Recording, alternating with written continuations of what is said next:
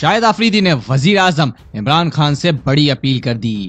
آفریدی نے لوگوں میں راشن تقسیم کر کے پورا پاکستان اور یہاں تک کہ دنیا کے لوگوں کے دل جیت لیے۔ ہربجن سنگھ اور سچن ٹنڈولکر بھی شاہد آفریدی کی انسانی دوستی کے جذبے کو دیکھ کر ان کے فین ہو گئے۔ آفریدی نے عمران خان سے کیا اپیل کی؟ یہ تمام تفصیل آپ کو آج اس ویڈیو میں بتانے چاہ رہا ہوں۔ ویڈیو میں مزید آگے بڑھنے سے پہلے آپ تمام حضرات سے گزارش ہے کہ اس ویڈیو کو لائک کریں۔ اور اگر آپ بھی لالا کے اس کام سے خوش ہیں تو اسے زیادہ سے زیادہ شیئر کریں اور مزید کرکٹ اور پاکستان ٹیم سے جڑی خبروں کے لیے ہمارے چینل کے ساتھ جڑے رہیے۔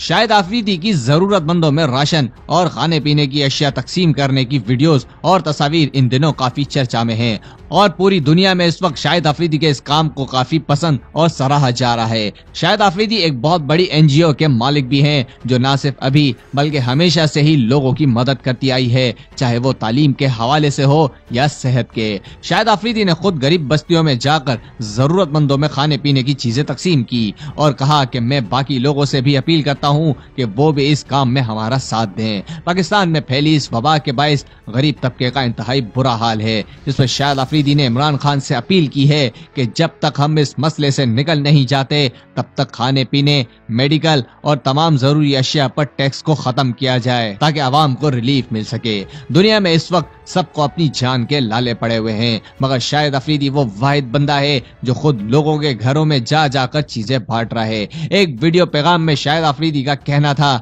کہ اب وقت آ گیا ہے کہ ہم ایک اچھی قوم بن کر دکھائیں، لوگوں کی مدد کریں اور اسلام کے اصولوں پر عمل کریں۔ میری آپ تمام دوستوں سے گزارش ہے کہ شاید افریدی کو اپنی دعاؤں میں خصوصی یاد رکھیں کہ اللہ تعالیٰ انہیں مزید صحت دے تاکہ وہ اسی طرح لوگوں کی مدد کرتے رہیں۔ آمین۔ اس کے علاوہ سابق بھارتی کھلاڑی ہربھجن سنگھ نے بھی شاید افریدی کی جانب سے انسانیت کے لیے کیے جا رہے اس فلاحی کام کو سراہا۔ اپنے ٹویٹر پیغام میں ان کا کہنا تھا کہ شاید افریدی اپنی عوام کے لیے بہترین کام کر رہے ہیں اور اس سے بڑھ کر کچھ بھی نہیں۔ جس کے جواب میں شاید افریدی نے ہربھجن سنگھ کا شکریہ ادا کیا اور کہا کہ انسانیت سے بڑھ کر کچھ بھی نہیں ہے اور اس عالمی وبا کا ہم سب کو مل کر مقابلہ کرنے کی ضرورت ہے اور ہمیں غریبوں کی مدد کرنا ہوگی۔ سابق کھلاڑی سچن تندولکر بھی آفریدی کو دیکھ کر میدان میں آ گئے اور اپنی عوام کے لیے پچاس لاکھ روپے کی امداد کر دی۔ یہ کسی بھی بھارتی کھلاڑی کی جانب سے اس وقت سب سے زیادہ چیریٹی ہے۔ میری نظر میں شاید آفریدی ایک بہترین نگینہ ہے